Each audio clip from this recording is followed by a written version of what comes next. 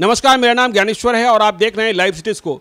सुपौल से बड़ी खबर, सुपौल में कांग्रेस की मौजूदा सांसद रंजीत रंजन चुनाव हार गई हैं। रंजीत रंजन मधेपुरा के सांसद पप्पू यादव की पत्नी हैं और बहुत मुकाबले के साथ चुनाव लड़ रही थी। कहा जा रहा था कि वे मुकाबले में हैं, लेकिन अब जब चुनाव नतीजे आए हैं तो वो भारी मतों के अंतर से सुपौल में चुनाव हार गई हैं। सुपौल में जदयू के दिलकेश्वर कामत को सफलता मिली है।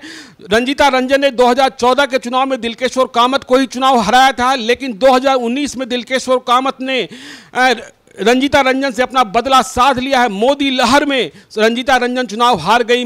रंजीता रंजन के लिए चुनाव प्रचार करने राहुल गांधी भी आए थे। आपको पता है कि एक मौका ऐसा आया था कि सुपौल को लेकर महागठबंधन में टूट की स्थिति पैदा हो रही थी, क्योंकि तेजस्वी यादव नहीं चाहते थे कि रंजीता रंजन को टिकट मिले। लेकिन अब राजद की हालत ही पतली है। कांग्रेस की बात छोड़ दीजिए। कांग्रेस कहीं सफलता हासिल करती हुई नहीं दिख रही है। रंजीता रंजन को हार मिली है सुपौल में।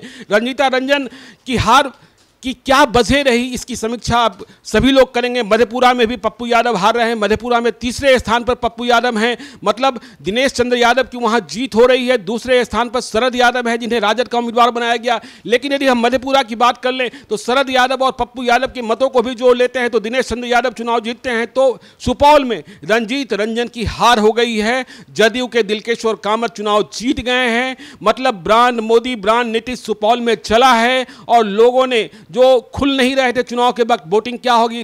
लोग कई तरीके की उम्मीदें लगा रखे थे, लेकिन कई एग्जिट पोल बता रहे थे कि नहीं, रंजीत रंजन हार रही है तो रंजीत रंजन चुनाव हार गई हैं।